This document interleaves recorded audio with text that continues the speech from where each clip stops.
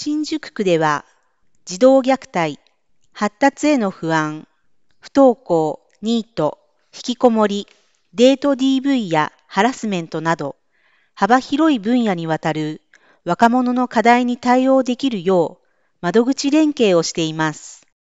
子ども・若者総合相談の看板を掲げた16所の相談窓口で連携し、若者を応援しています。困りごとは、その人、その家庭の事情により様々です。どこの窓口に相談したらよいかわからないとき、第一の窓口として、子ども総合センター、子ども家庭支援センターがあります。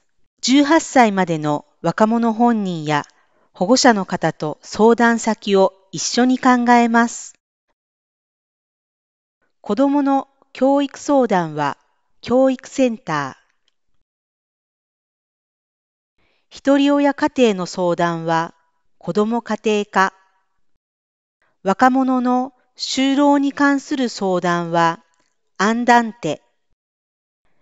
経済的な困窮に関する相談は、生活支援相談窓口。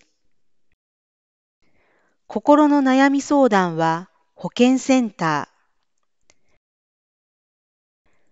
家庭生活等の悩み事相談は、ウィズ新宿があります。もやもやは、一人で抱えず相談する。困った時に自ら相談できることが大切だと考えています。新宿区は若者を応援しています。